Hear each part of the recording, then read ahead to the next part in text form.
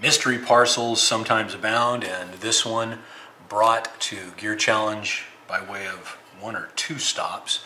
I understand that um, this originated from Tennessee, forwarded to yours truly, and not that we really need such a brutal instrument as the um, Strider fo- folder to get this open, but uh, well, it just happened to be what was in the pocket at the time. So this is a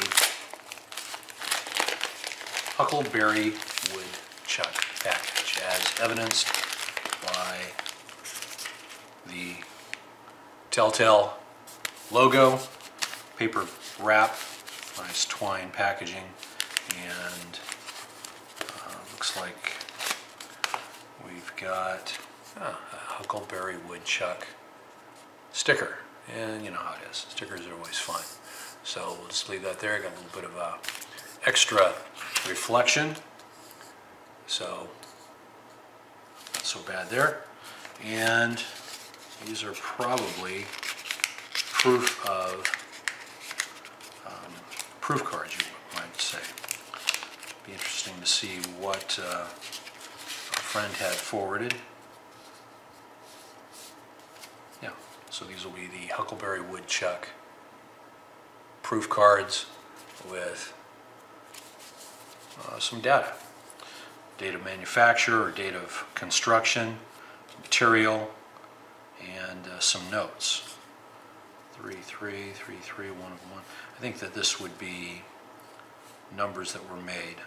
Probably, you know, there's a one, one, probably meaning one of one. This is uh, three, three. Over here, probably meaning three of three.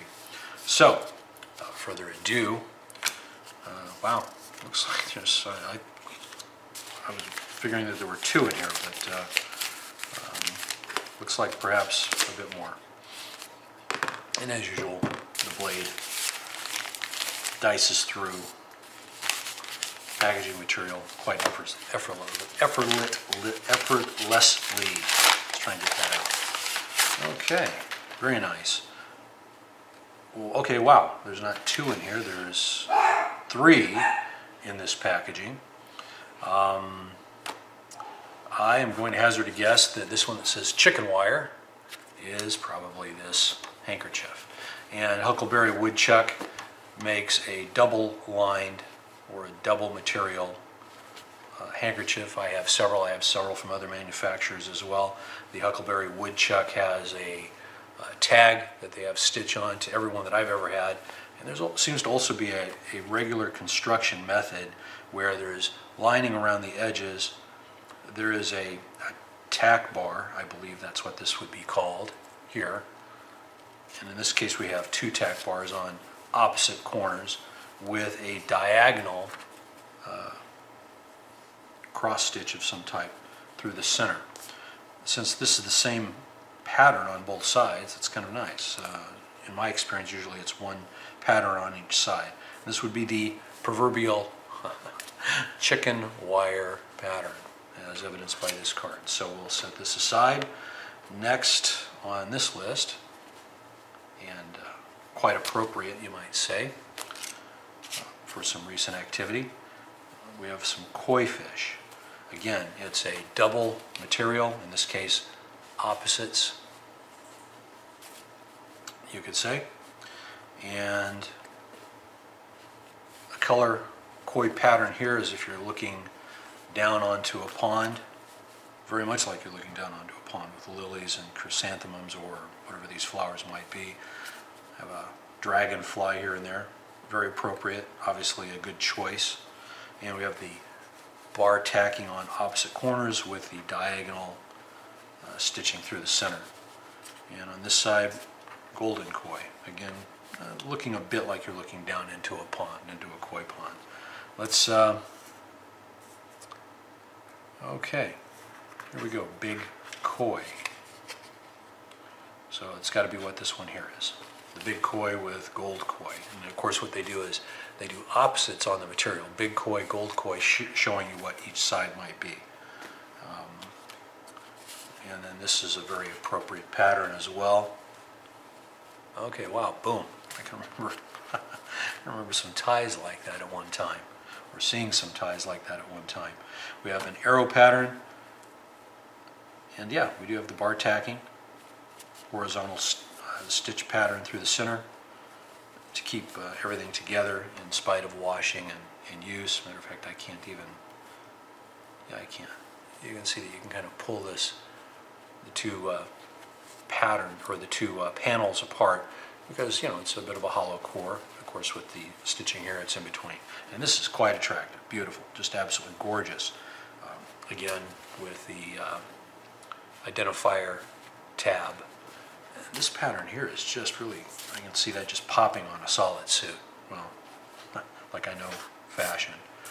And that would be the blue arrows and diamonds. And again, we've got uh, two of two, so it looks like maybe we've had two of these made, uh, blue diamond, or blue arrows, diamond, and uh, a manufacturing date, and using white thread. So uh,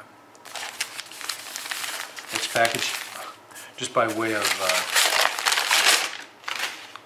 subtraction, we've got two here. Wow.